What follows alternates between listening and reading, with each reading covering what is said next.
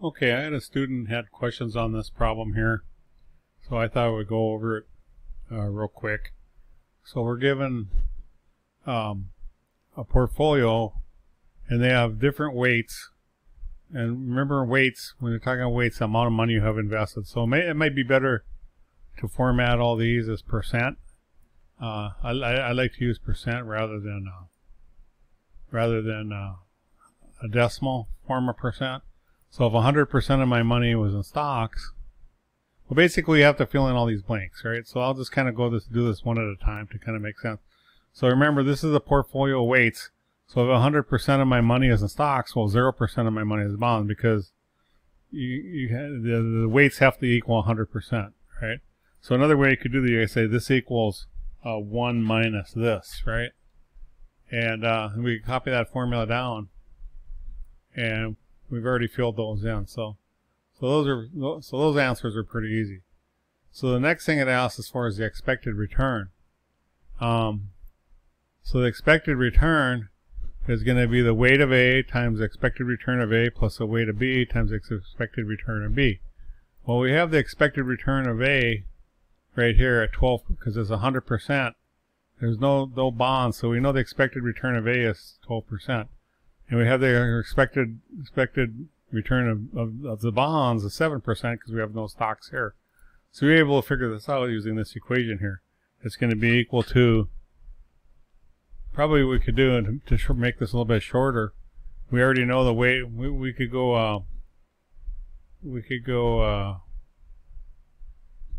put the expected returns down below here. Expected return, expected, uh, return of A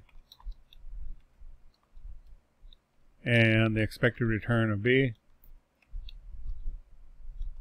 We all know, we know that now. Let's see. Uh, the, the A is equal to well, well, it's going to be here this 12% because this is 100% stocks.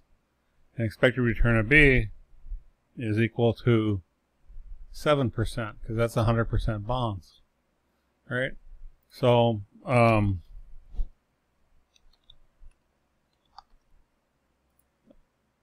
Let me subscript this real quick. All right, so so now we can figure out the expected returns of these. All it's going to be is equal to the sum product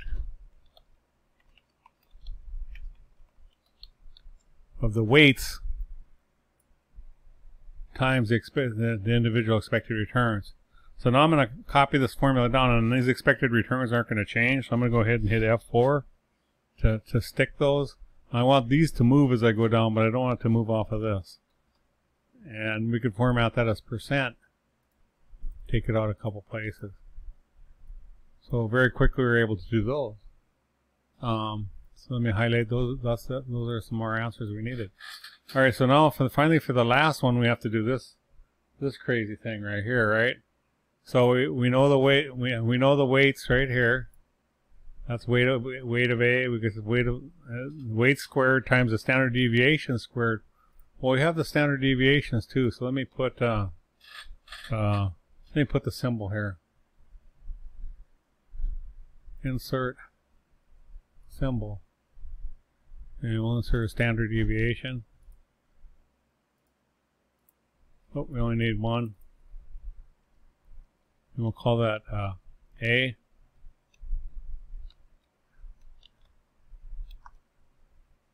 And let me copy this over here. We'll call this B. Again, since this is 100% stocks, this is the standard deviation of A because there's bonds is not involved. So the standard deviation of A is going to be equal to 21%. And the standard deviation of B for the bonds is going to be 12%. So we just, because we're going to use these over here, right? Um, so we're going to use these in this formula. So now, so this is going to be equal to the square root of the weight of 1 squared, which is this one squared, times the standard deviation of a squared. I'm going to go ahead and F4 that because when I copy this formula down, I don't want it to move from there. Plus the weight of number 2 squared times the standard deviation for the bonds F4 of that because I don't want to move squared plus 2 times this times this times the correlation coefficient. I'm going to go ahead and for that because I don't want that to move. Okay. Times the standard deviation for 1, F4 it, times the standard deviation for 2, F4 it. So if I did that right, I already know the answer is supposed to be uh, 17.67. So let's see if we did it right. And let's just take that, let's do that percent, because standard deviations can be in percent. 1767. And, we'll, and then we'll just take that down the rest of the way. And we got that answer.